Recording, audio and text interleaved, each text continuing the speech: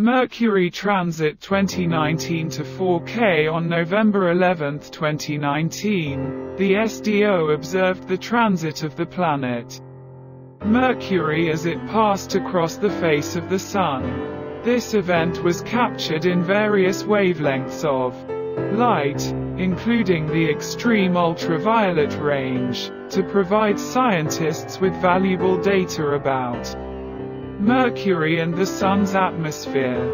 These observations help researchers study the dynamics of the Sun and its outer layers, as well as the movement and properties of Mercury.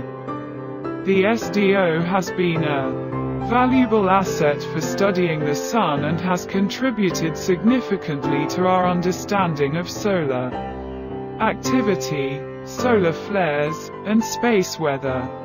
It continues to provide important data for solar and space science.